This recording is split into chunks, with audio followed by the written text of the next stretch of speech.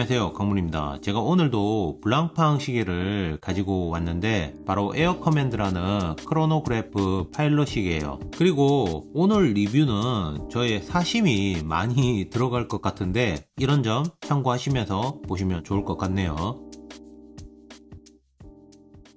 자 먼저 이 에어 커맨드 모델은 2019년에 제가 가지고 있는 바라쿠다 한정판 모델하고 같이 발표를 했었는데 이 모델 역시 500개 한정판으로 나온 모델이고 그리고 그때 출시 당시 가격으로는 2331만원 상당히 가격이 높죠. 현재 2년 정도 지났는데 출시 당시 가격보다는 높지는 않고 그렇다고 그거보다 많이 떨어지지는 않고 거의 다 그런 것 같아요. 저는 솔직히 이 에어 커맨드 모델이 출시가 되었을 때 정말 깜짝 놀랐습니다. 왜냐면 저는 이 에어 커맨드 모델이 나올 거라고는 아예 생각도 못 했거든요. 제가 이 모델을 그냥 어렴풋하게 그냥 있었다. 이 정도만 알고 있었지 이렇게 제대로 본 건 처음이거든요. 원래 제가 알던 에어 커맨드 모델은 예전에 제가 언급한 트릴로지 에어 커맨드 모델이나 아니면 피프티 패덤즈 에어 커맨드 모델. 보다시피 피프티 패덤즈 케이스를 사용을 하고 있어 가지고 저는 그냥 단순하게 프랑스 해군을 위한 파일럿 시계인 줄 그런 개념으로 알았거든요. 근데 이번에 블랑팡이 이 에어 커맨드 모델의 정체성을 다시 찾아야겠다 이런 마음이었는지 진짜 이번에는 이 에어 커맨드 모델을 복각을 하고 다시 현대적으로 재탄생을 시킨 것 같네요 그래서 제가 이 에어 커맨드 모델의 history 한번 찾아보니까 거의 없다고 보시면 돼요. 그리고 시작은 어떻게 되었는지 또 얼마나 생산이 되었는지 이 정도로 확실한 정보가 없다 보니까 미스터리에 가려진 시계라고 많이들 말하시더라고요. 그래도 제가 블랑팡에서 제공한 정보들을 한번 종합을 해보면 1950년대 그 당시에 피프티 패덤즈 모델이 굉장히 크게 성공을 했었는데 그때 앨런 V 토넥을 통해서 미 해군한테 이 피프티 패덤즈 모델을 공급을 했습니다. 왜 앨런 V 토넥을 통해서 미 해군한테 공급을 했었냐면 이때 당시에 미국은 그 수입 시계에 대한 엄청난 조건과 상당한 세금을 걷고 있었기 때문에 블랑팡은 부품만 미국으로 보내서 앨런 V 토넥을 통해 완성을 시킨 다음에 판매를 했습니다. 그래서 블랑팡은 인프라가 잘 갖춰진 미국에 파일럿 시계도 팔아봐야겠다. 그래서 그 에어 커맨드 모델을 만들어서 미 공군한테 공급할 목적으로 이 프로토타입을 몇 점을 완성시켜서 앨런 V 토넥을 통해서 전달을 했었다고 해요. 근데 미 공군은 이 시계에 대한 필요성을 크게 못 느낀 것 같아요. 그래서 공식적으로는 사용이 안 됐다고 하더라고요. 그리고 다른 나라에도 제대로 공급을 못했는지 실제 존재하는 수량도 거의 없다시피 하고 만약에 경매에 나온다. 그러면 상태에 따라서 5만 달러에서 10만 달러 이렇게 비싼 가격에 팔리고 있어 가지고 아주 희귀한 시계라고 생각하시면 좋을 것 같네요 그리고 당시에 군에서 요구한 스펙을 한번 보면 가독성을 위한 블랙 다이얼 대비 눈에 띄는 hands 그리고 small second 또 크로노그래프를 바로 리셋해서 사용할 수 있는 flyback 또 연료가 얼마나 남았는지 계산이 가능한 카운트다운 회전 베젤 또 속도를 측정할 수 있는 tachymeter scale. 이외에 일정 이상의 허용 오차 범위하고 power reserve도 꽤 나름 잘 나와야 되는 저는 이런 것들만 봐도 고정밀 장비라는 감성 하나 이 하나만으로도 굉장히 매력적으로 다가오는 것 같아요. 그래서 제가 오늘 가지고 온 이 에어 커맨드 모델도 오리지널 모델만큼 정말 매력적이라고 보시면 되는데 디자인은 프랑스 공군 파일럿 시계의 타입 20 디자인을 그대로 가져왔다고 보시면 돼요. 그러니까 오리지널 모델도 타입 20 디자인을 가지고 있는 거죠. 그래서 빈티지하면서 클래식함을 그대로 느껴지실 거예요 그리고 현대적인 소재와 디테일들을 추가하면서 고급스러운 파일럿 시계가 뭔지 이 모델을 통해서 제대로 느끼시지 않을까 합니다. 자 보시면 bezel insert 같은 경우는 현재 유행하는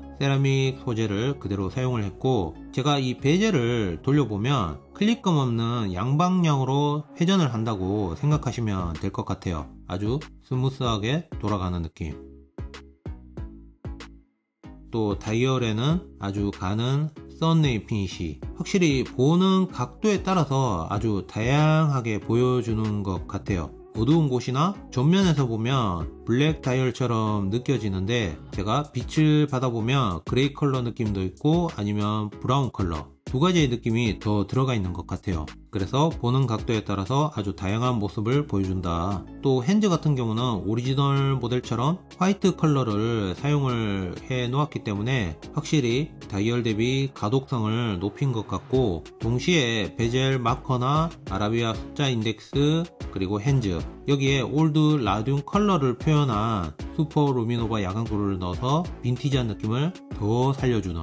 그리고 제가 여기서 굉장히 좋았던 점이 뭐냐면 다이얼 밸런스 라고 생각을 합니다. 보시면 bi-compax 레이아웃이 오리지널 모델하고 위치가 조금은 다르긴 해요. 근데 지금 보이는 현재 모델이 훨씬 더 자연스럽고 제가 볼 때는 더 보기 좋은 느낌. 여기 3시 방향에 있는 미니 count를 자세히 보시면 3, 6, 9 라인이 더 길게 printing이 되어 있죠. 원래 이 사용 용도가 그 당시 1940년대? 아마 빈티지 모델을 보면 이때부터 사용을 했다는 말이 있던데 이때 공중전화를 이용할 때 3분 단위로 연결이 되었다고 합니다. 지금도 그렇나? 그래서 이 라인을 보고 전화가 안 끊기도록 그렇게 사용을 했다고 하고 그리고 9분까지 밖에 없는 게 그때 대부분의 통화가 10분 이내로 끝났을 것이다 라고 이렇게 추측을 하더라고요. 근데 크로노그래프 파일럿 시계에 왜 들어갔냐 이거는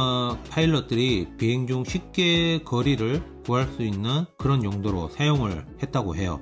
속도나. 그냥 빈티지 요소를 잘 보여주는 부분이라고 저는 생각을 해요. 자 근데 여기서 오리지널 모델하고 가장 큰 차이점이 뭐냐면 원래 9시 방향에는 small second가 들어가야 되거든요. 근데 지금은 hour counter가 들어가 있죠. 원래는 6시 방향에 small second가 있는 movement인데 이 bi-compax 디자인 때문에 6시에 있는 small second를 삭제를 하고 date도 같이 삭제를 했습니다. 제가 볼 때는 블랑팡이 어쩔 수 없는 선택이었다고 생각을 해요. 그때 오리지널 모델은 케이스 크기가 그 당시에 상당히 oversize라고 불리는 42mm로 만들어졌고 여기에 31.60mm 크기를 가진 칼리버 벨주 222 무브먼트를 넣어놨는데 블랑팡은 최대한 비슷하게 비율을 맞추려고 했는지는 모르겠지만 케이스 크기를 42.50mm로 만들고 movement는 31.80mm 크기를 가진 caliber F385에다가 제가 앞에 말한 것처럼 small second와 date를 삭제한 caliber F388B로 이름을 바꾼 다음에 여기에 넣은 것 같아요. 자 보시면 이 movement에서 가장 눈에 띄는 점 바로 이 18K red gold 소재로 만들어진 프로펠러 rotor인데 이거는 정말 미쳤다 할 정도로 와 정말 잘 만든 것 같아요. 이 촘촘하게 brushed finish가 들어간 프로펠러. 정말 예쁘죠? 사실 예전부터 블랑팡은 rotor에 굉장히 신경을 많이 쓰는 브랜드 중에 하나인데 예를 들어서 피프티 패덤즈 아쿠아렁 한정판 모델의 배 프로펠러 rotor 이런 것도 있고 또 앵무 조개를 표현한 rotor를 보여주는데 생각보다 rotor 활용을 굉장히 잘하는 것 같아요. 근데 그때 처음 출시 당시에 프로펠러 rotor 보고 그때는 프로펠러를 사용한 전투기가 아니고 제트 전투기를 사용을 했는데 왜 이걸 넣었는가 이런 아쉬움을 토로하는 분들도 있더라고요. 근데 저는 오히려 이게 신의 한 수라고 생각을 합니다. 어차피 감성인데 이런 거 오히려 이 모델을 매력 200% up 시켜주는 느낌. 근데 케이스 측면에서 자세히 보시면 이 프로펠러 rotor 때문인지는 저도 잘 모르겠지만 case back에 사용된 이 사파이어 크리스털 glass가 박스 형태로 된 돔형을 사용하고 있어요 전면 사파이어 크리스털 glass도 같은 모양을 하고 있기 때문에 앞뒤로 박스 형태를 하고 있어 가지고 이게 생각보다 매력적이더라고요. 그리고 케이스 두께도 생각보다 두껍지 않거든요. 공식적으로는 13.77mm라고 나와 있는데 생각보다 괜찮은 케이스 두께를 가지고 있죠. 그 다음에 5Hz로 10진동을 가진 high beat movement라고 보시면 되는데 크로노그래프를 작동을 해보면 10분의 1초까지 측정이 가능해요. 근데 오리지널 디자인 때문에 그런 건지는 모르겠지만 오리지널 모델처럼 5분의 1초까지만 스케일 표시를 해 놓았더라고요 보면 다섯 칸이죠. 이런 것도 깨알 같은 디테일 중에 하나이기 때문에 참고하시면 좋을 것 같고 그리고 수직 클러치의 column wheel을 갖추고 있는데 확실히 수직 클러치가 크로노그래프를 작동을 해보면 정확도가 좋기는 좋더라고요. 수평 클러치하고는 확실히 다르죠. 보는 맛은 있지만 그리고 전면에 보면 flyback이라고 레터링이 되어 있는데 말 그대로 중간 과정 없이 바로 restart가 가능하기 때문에 우리가 흔히들 말하는 연속으로 측정이 가능하다.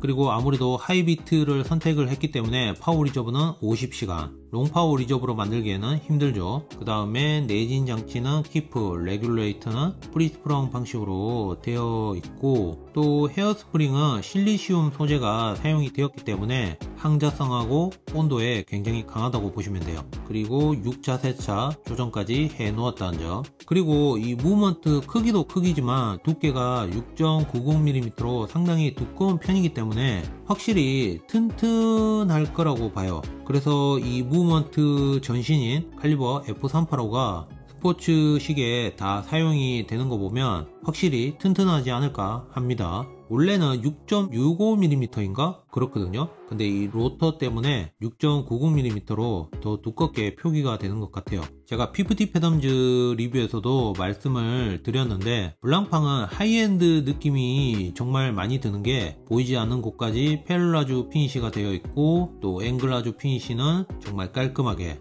한결 정리 정돈된 느낌을 많이 줘요. 그 다음은 단점을 말해 볼 건데 흔히들 많이들 말하시는 게 첫 번째로 방수가 30m 물에는 굉장히 약하다. 어차피 파일럿 시계라서 물은 크게 연관이 없죠 그리고 두 번째로는 한정판 모델인데 구성품이 너무 조촐하다. travel 시계 보관함이랑 시계가 거의 끝이에요. 이게 무슨 한정판이야? 이 시계를 사신 구독자분도 저한테 물어보더라고요. 구성품이 왜 이렇게 없냐고요. 저는 시계 다 올인을 했다고 그렇게 좋게 생각하시라고 그렇게 말씀을 드렸네요. 그리고 제가 개인적으로 느낀 단점이 있는데 저는 이 lug 사이즈가 현재는 22mm 이거든요 저는 21mm로 줄여줬으면 전체적인 비율이 더 좋지 않았을까 하는 그런 생각이 들어요. 그래도 제가 착용했을 때 생각보다 굉장히 아담하게 느껴지는 시계 중에 하나였고 이 송아지 가죽으로 만들어진 스트랩은 확실히 부드럽습니다.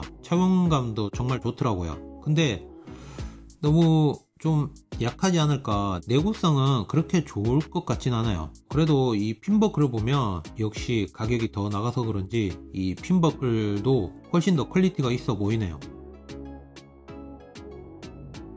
저는 솔직히 이 정도로 예쁠 줄은 몰랐거든요. 제가 사고 싶은데 제가 지금 예약한 게 있어 가지고 못 사는 게 너무 아쉽네요 자 제가 마지막으로 정리를 해보자면 블랑팡이 중간에 단절된 역사가 있죠. 그러다 보니까 약간 뒤죽박죽이 된 느낌이 없지 않아 있긴 한데 지금은 다시 하나하나 정리를 해가는 느낌이 많이 들어가지고 앞으로가 정말 기대가 되는 브랜드라고 생각을 합니다. 그리고 이 에어커맨드 모델이 제가 듣기로는 정식 모델로 부활한다는 소문이 있던데 정말 기대가 됩니다. 자 오늘 리뷰는 여기까지